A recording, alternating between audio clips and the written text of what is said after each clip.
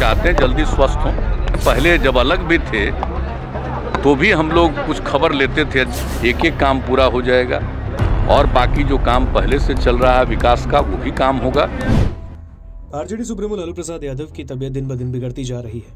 आनंद फानन में लालू प्रसाद यादव को रांची के रिम्स से दिल्ली के एम्स में एडमिट किया गया है और उन्हें वहाँ पर उनका इलाज चल रहा है। आपको बता दें कि बीते दिन एयर एंबुलेंस से रांची से वो दिल्ली गए हैं और दिल्ली में उनका एम्स में इलाज चल रहा है, लेकिन जब से राजद के मुखिया लालू प्रसाद यादव की तबीयत, बिगड़ी तबीयत को लेकर खबरें सामने आ रही हैं, विपक्ष के तमाम नेता उनके बेहतर स्वास्थ्य की कामना तो कर ही रहे हैं, लेकिन इसमें सत्ता पक्ष भी पीछे नहीं है। सत्ता पक्ष की ओर से भी लालू प्रसाद यादव की बेहतर स्वास्थ्य की कामना की जा रही है।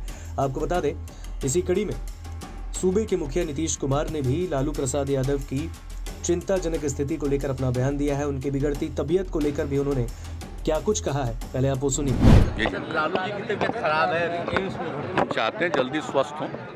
आप तो जानते हैं, पहले जब अलग भी थे तो भी हम लोग कुछ खबर लेते थे, जब हम खबर ले रहे थे, उनका जो देखने वाला व्यक्ति था तो मेरे ऊपर क्या क्या कह दिया था? याद है ना, सत्रह अट्ठारह में परिवार का? तब से तो हम कह दिया कि हम जानकारी नहीं लेंगे, अखबारी से मिल जाएगा।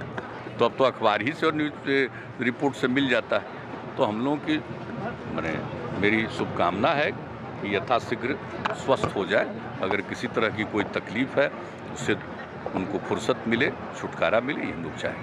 तो सुना आपने।